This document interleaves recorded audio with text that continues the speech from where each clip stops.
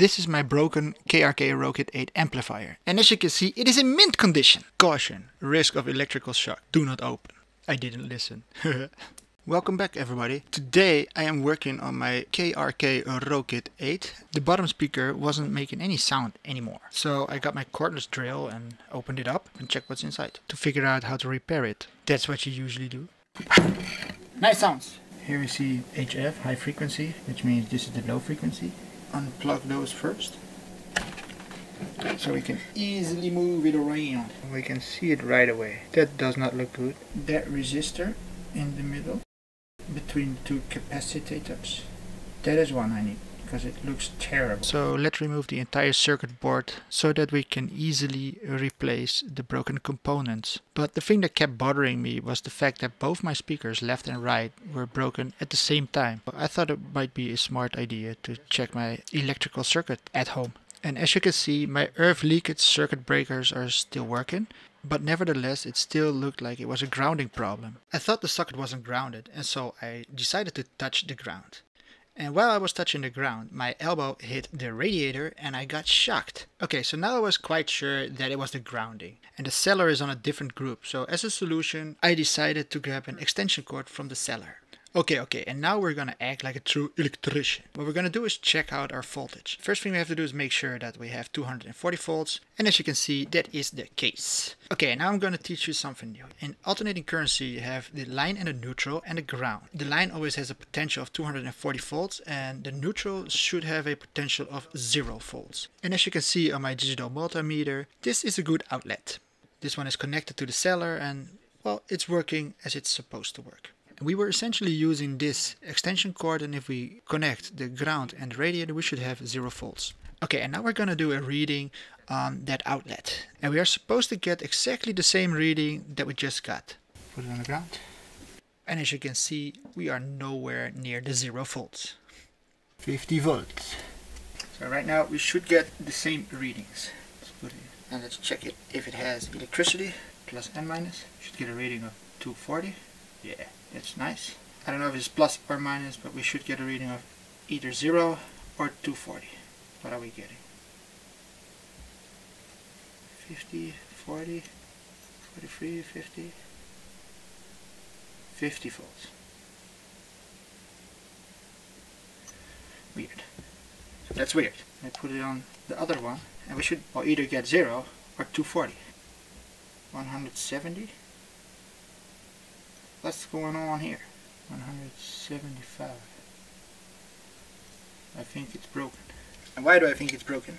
Take this put the ground on the ground.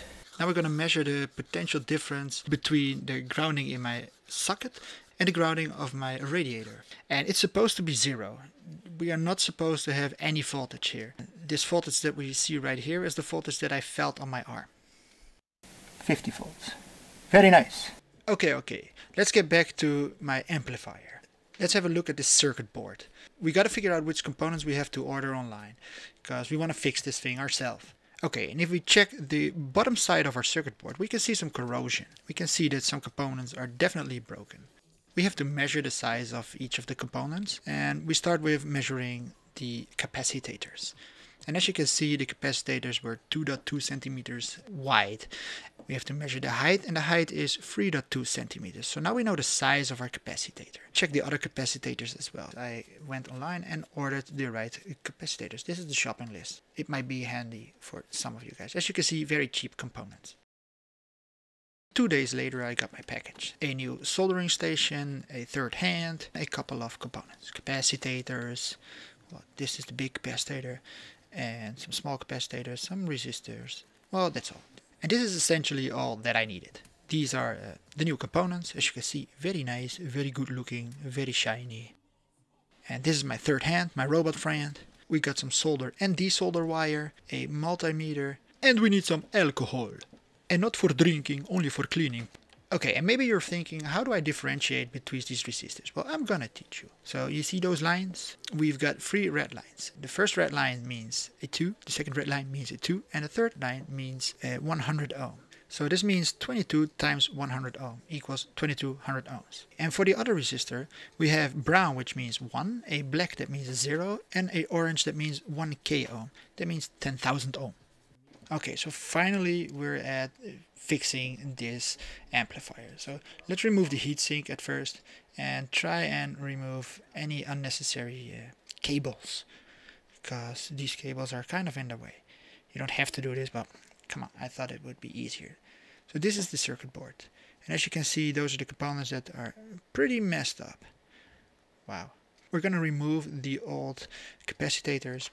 And so these uh, components were glued with some kind of black sticky gooey stuff. So I had to remove that using a knife. Well, as you can see, the circuit board is in perfect condition.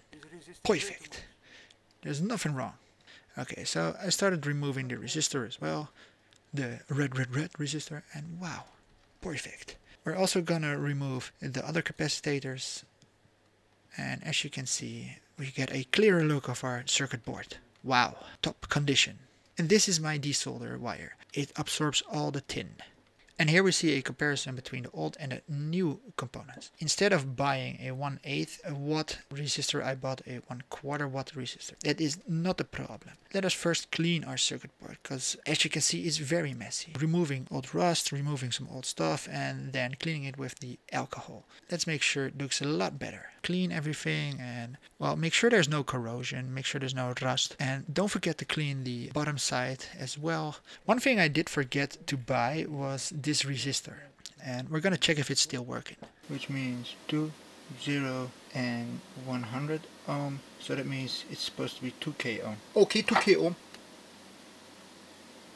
Well what do we see? 1.95 so that's as good as 2k ohm. It's still working. And after it is cleaned you can put the components back in and this is a diode make sure that you have the right side down look at how nice I am doing it. You can see I am a professional. It looks perfect. I'm quite sure that everybody that goes to school to be an electrician, well, they teach you exactly the way that I do it. I am professional. Okay, don't don't don't listen. We have to make sure that we don't have short circuits. Do we get a reading? We have to check if we did it correctly and if they're still working, if we didn't destroy it. 35. Beep beep. These are allowed to be connected. They are. These aren't allowed. They are not. Okay. These are allowed to be connected? Okay. And these two? Okay. Let's check resistance. Uh, one is 30k so it needs to go to 200k ohm. Over there should be 10 9.7 and this should be 30 30.0. After we did those small components, we gotta do the big capacitors. It's the easy part. That, that we just did the hard part. This is the easy part. We wanted to make sure that we have all the necessary area to work on. So these bigger components are easier to solder. Now it kind of looks like I'm knowing what I'm doing. But look at how terrible I did it down there. But hey, it works. Solder, solder, solder. Oh, nice and hot.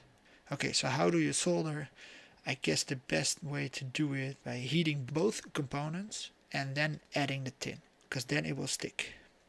Look at how it looks. It looks so much better than it did before. Wow, I didn't expect it to look that good. Let's reconnect the wires because we need those. The high frequency and low frequency wires. And now that we've done the circuit board, we can uh, reassemble our heatsink. Thermal paste for heatsinks because these are dried out. It kind of looks the same. And let's make sure that we use some thermal paste because I know you guys hated it when uh, I didn't do the thermal paste the right way years ago. Well, I'm actually using the same thermal paste. Ooh. But hey, it worked. Wow, look how much better it looks. Not the bottom side, not the bottom side. Today is the final day. Hopefully I'm gonna test it. Yeah, let's hope that I did everything correct. This was not a very hard job, but not a very easy job either. You gotta have a lot of patience. And uh, yes I can do this attitude. Ah yeah. If this thermal paste can help my CPU then it can help my heatsink too. And I hated this this cable. It was very hard to release it. Because these guys from the KRK company, what they did was they smeared this black gooey stuff all over the place. Well, you can see a big chunk of it over here. They also had it on these, these cable connectors, which made it extremely hard to release it. So I was very mad. Good story, bro. I don't call me bro, man. I'm not your bro. Clickety clackety. They connect the cable of the low frequency stekkers. All stekkers sitting in the ding. I heard a ploop, and that's a good sign. Let me turn on the volume. Okay, well good. I fixed it. Why is this so light? Come on. Thank y'all for watching. Hope you learned something new in this video. And if you did enjoy this video, check out some of my other videos, even though they're not about electricity. Whatever. Hey, I'm gonna enjoy my uh, my setup right now. Bye.